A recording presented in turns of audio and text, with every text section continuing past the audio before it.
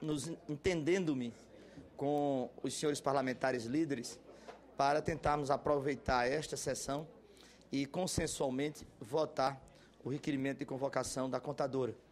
E os senhores líderes estou chamando para tentar esse processo, até porque como não há quebra de sigilo, e eu, ser, eu manterei a minha posição, tendo quebra de sigilo, eu só voto nominal.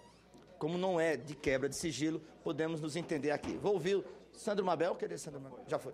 Então, eu passo a votação dos, das atas da nona, décima, décima primeira reuniões, propondo a dispensa da leitura. Os parlamentares que aprovam permaneçam como estão. Não, não teria que dispensar o. Vou fazê-lo agora.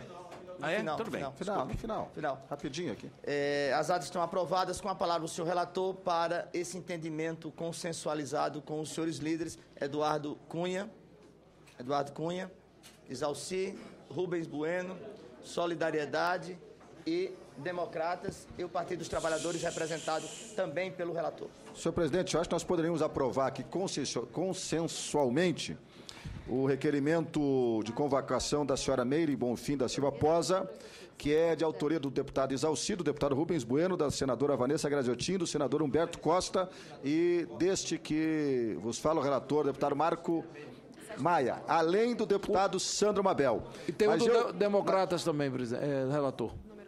724. Eu peço para incluir no rol de O aprovação. que, é que diz o 724? Aprovação da. Meire Pós. Ok.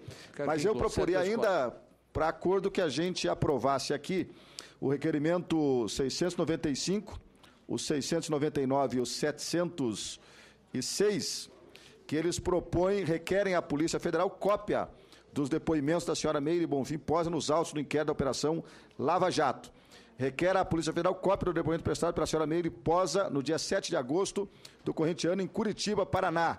E requer solicitar à Polícia Federal cópia das planilhas e demais documentos entregues pela senhora Meire Bonfim da Silva Posa.